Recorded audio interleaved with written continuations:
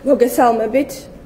დღეს მსურს ყურადღება კიდევ ერთხელ გავამახვილო იმ უმძიმეს რეალობაზე, რომელიც ქართულმა ოცნებამ შექმნა ქვეყანაში და რომლის შედეგადაც საქართველო იცლება ადამიანებისგან, იცლება ოჯახებისგან და რაც ყველაზე უფრო საგანგაშოა, იცლება ბავშვების და ახალგაზრდებისგან, ვინც ქვეყნის მომავალი უნდა შექმნას.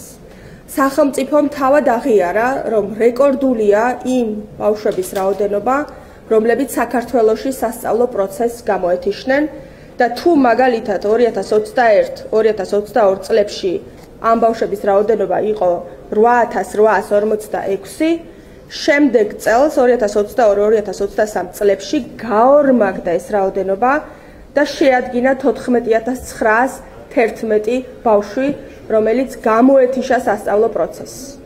ჩვენ კარგავთ საქართველოს მოქალაქეებს და განსაკუთრებით საგანგაშოა რომ კარგავთ მომავალ თაობას, რომელთა ოჯახებსაც ქვეყანაში შექმნილი უმძიმესი რეალობის გამო უწევთ იძულებით ემიგრაციაში წასვლა და თან მიყავთ შვილებიც. მე ახლა მინდა წარმოგიდგინოთ რამდენიმე ოფიციალური მონაცემი თუ რა ვითარება შექმნა საქართველოში ქართულმა ოცნებამ ოჯახებისთვის, ბავშვებისთვის, რომლებსაც ყოველდღიურად ფიზიკური გადარჩენისთვის უწევთ ბრძოლა ამ ქვეყანაში. უკვე დიდი ხანია გარდაცვალების მაჩვენებელი უსწრებს შობადობის მაჩვენებელს საქართველოში. საქართველოში ქართულმა ოცნებამ ბავშვები გაწირა სიღარიბისთვის. ყოველი მეხუთე ბავშვი ცხოვრობს აბსოლუტურ სიღარიბეში.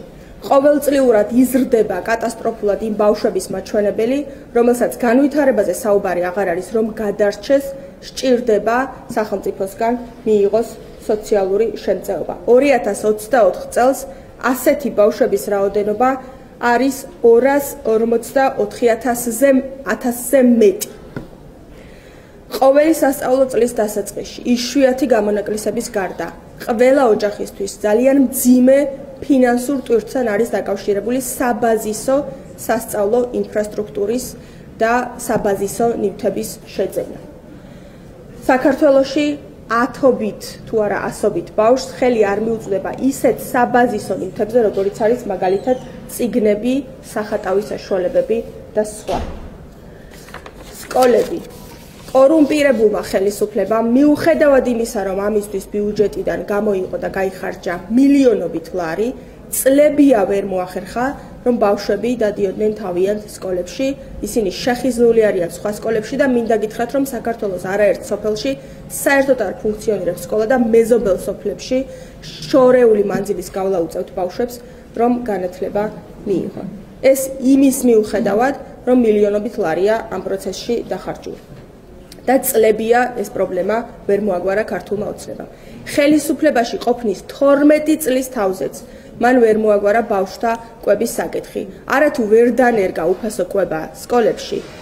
სკოლების უდიდეს ნაწილში ვერ მოაგვარა თუნდაც ფასიანი უფეტის ინფრასტრუქტურული პრობლემები. სერიოზულად დგას სკოლებში ჰიგიენის პრობლემა, მათ მნიშვნელოვან ნაწილში სასმელ წყალზე ხელმისაწვდომობაც კი არის პრობლემა. განათლების ხარისხი პიზას კვლევის თანახმად 91 ქვეყანას შორის საქართველოს არის 67-ე ადგილას, რაც არის ძალიან ძიმე მაჩვენებელი. თქვენ იცით, რომ წაკითხულიდან აზრის გამოტანის მაჩვენებელი არის კატასტროფულად დაბალი. ეს იმ პირობებში, როდესაც ხელისუფლება დიდი ხანი ამბობს, რომ განათლება თურმე მათი პრიორიტეტი ყოფილა. და ასევე აუცილებლად უნდა ვისაუბროთ ძალადობაზე ოფიციალური მონაცემებით. და თქვენ იცით რომ ამ მიმართულებით ოფიციალური მონაცემები ვერ და არასახავს პრობლემის სრულ სიმძიმეს საკითხის სენსიტიურობიდან გამომდინარე სახელმწიფოც კი აღიარებს რომ ყოველწლიურად საქართველოში ათობით არასრულწლოვანი ხდება პედოფილიის მსხვერპლი და ასობით ბავშვი ხდება ფსიქოლოგიური და ფიზიკური ძალადობის მსხვერპლი. მე აღარაფერს ვამბობ იმაზე, რომ ყოველდღიური სამოქალაქო უსაფრთხოება, როგორც დასრულებისთვის, ასევე განსაკუთრებით არასრულწლოვნებისთვის ვერანაირ კრიტიკას ვერ უძლებს. ეს ხდება სწორედ იმიტომ, რომ ქართული ოცნების პოლიტიკა და მათ მიერ გადადგმული ნაბიჯები ემსახურება არა საქართველოს მოქალაქეების კეთილდღეობას, არამედ ემსახურება ოკუპანტის სახელმწიფოს ამოცანების შესრულებას ჩვენს ქვეყანაში. ამიტომ არის კრიტიკულად მნიშვნელოვანი, რომ დასრულდეს 26 ოქტომბერს რუსეთის მსახური ხელისუფლების მმართველობა და საქართველოს რაც შეიძლება სწრაფად გადადგას ნაბიჯები ახალი ხელისუფლების პირობებში, რომ სწრაფად გავხდეთ ევროკავშირის წევრი. ერთი მონაცემი მინდა შედარებისთვის მოვიყვანო. პროდუქტიულობის ბავშვის პროდუქტიულობის მაჩვენებელი. ანუ იმ პირობებში, რა პირობებში საქართველოსი ბავშვებს უწევთ ცხოვრება, ისინი საუკეთესო შემთხვევაში ახერხებენ თავისი ნიჭის და უნარის მხოლოდ 60%-ის რეალიზებას. მხოლოდ 60%-ის რეალიზებას.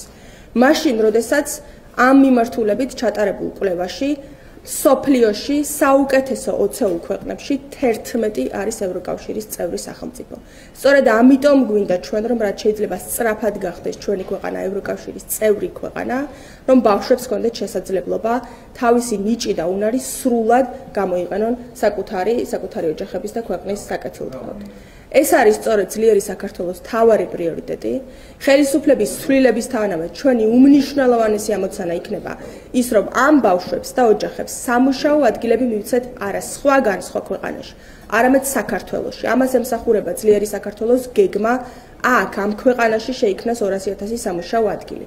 როდესაც ადამიანებს ექნებათ ღირსეული ანაზღაურება და მათ არ მოუწევთ მცირეწლოვანი შვილების ქვეყნიდან წაყვანა იმისთვის, რომ გადაარჩინონ ისინი ფიზიკურად.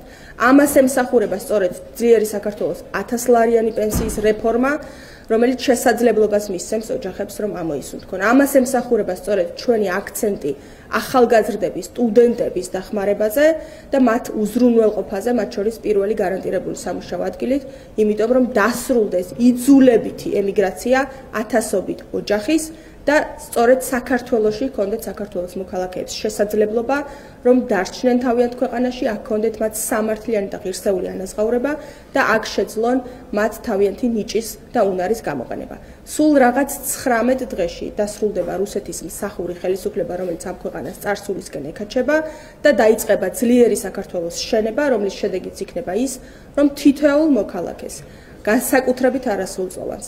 ექნება გარანტირებული ევროპული ხარისხის განათლება, ევროპული ხარისხის ჯანდაცვა, ევროპული ხარისხის უსაფრთხოება და ევროპული ხარისხის კეთილდღეობა.